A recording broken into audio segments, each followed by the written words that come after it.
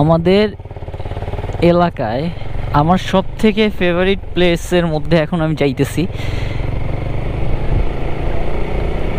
এটা drone footage নিলে আপনারা বুঝতে পারবেন যে এই জায়গাটার আসলে সৌন্দর্যটা কতটুকু।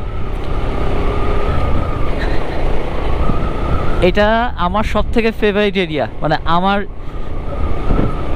গ্রামের মধ্যে। এটা যদিও আমার গ্রাম না, আমাদের গ্রামের পাশের গ্রাম। বাট জায়গাটা মানে অসাধারণ।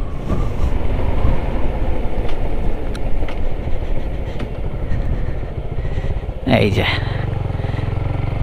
দুই পাশে মাঠ আর মাঝখান দিয়ে রাস্তা। এটা খুবই ভালো লাগে। আর যখন সরিষার সময় হয়, সরিষার সময়ে দুই পাশে সরিষার মাঠ থাকে, পুরো হলুদ আর মাঝখান দিয়ে রাস্তাটা। মানে সেই লাগে, সেই। এখানে একটা ড্রোন ফুটেজ নেওয়া আমার উচিত।